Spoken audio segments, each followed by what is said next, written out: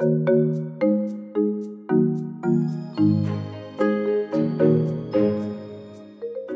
is a special ecosystem. It's called LAC.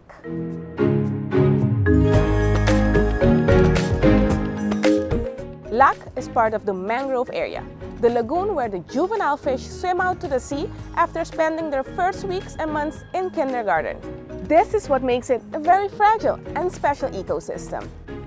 LAC has become a bay where many people enjoy water sports such as windsurfing, swimming, snorkeling, and kayaking. This fun but busy variety of activities makes the risk of collision greater. To reduce the risk of accidents, kitesurfing is forbidden on the waters of LAC.